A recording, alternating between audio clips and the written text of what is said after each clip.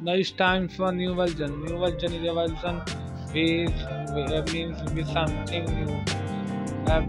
We bought from any change or a software version or anything else